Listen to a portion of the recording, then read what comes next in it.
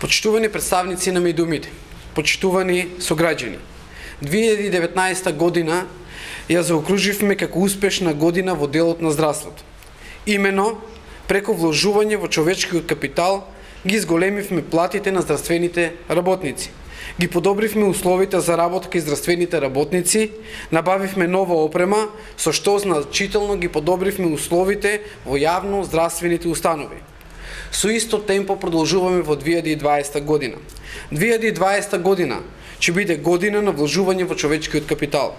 Заедно со сите зголемување досега, вклучително и зголемувањата во месец февруари 2020 година, ќе успееме основната плата кај лекар, специјалист, да ја зголемиме на 40%, а на општите лекари за 25%.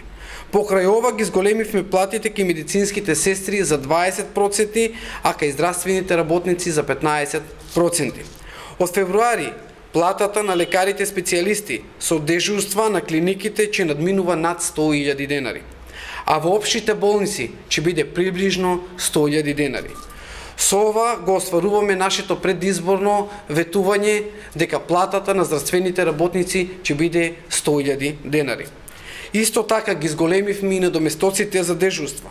Дежурствата во работен ден и дежурствата за викенд и празник се зголемени од 2 до 3 пати, а во месец февруари ќе бидат зголемени од 4 до 5 пати. Со ова дежурството, кое што порано се плаќаше во износ од 2500 денари, сега ќе се плаќа и ќе изнесува од 8 до 10.000 денари.